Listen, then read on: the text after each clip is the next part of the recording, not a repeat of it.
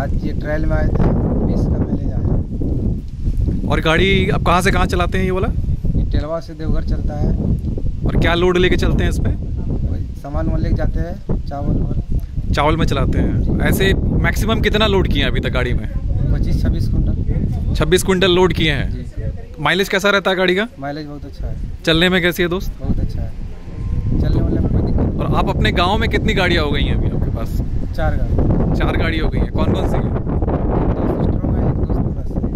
तो आगे अगर कोई अपने रिश्तेदार में दोस्त में पहचान में कोई पूछेंगे तो गाड़ी रेकमेंड करेंगे हमारी। जी। माइलेज से संतुष्ट है ना? हाँ आज जैसे गाड़ी में तेल जो हम डालते हैं उसका बहुत ज़्यादा महँगा हो गया है तेल नब्बे रुपये पंचानवे रुपये है। उस हिसाब से देखेंगे अगर बीस का माइलेज आ रहा है और अगर फुल लोड जितना आप लेके चलते हैं ऐसे दो पच्चीस क्विंटल लेके चलते हैं उसमें अगर आपको अठारह उन्नीस सत्रह भी आता है तो आपको लगता है कि आप घर पैसा बचा के ले जाएँगे? आगे के लिए भी ये मतलब ये जो दोस्ती है वो आगे भी ऐसी दोस्ती और मज़बूत रहेगी हमारी? हाँ ठीक है। ठीक है दोस्त थैंक यू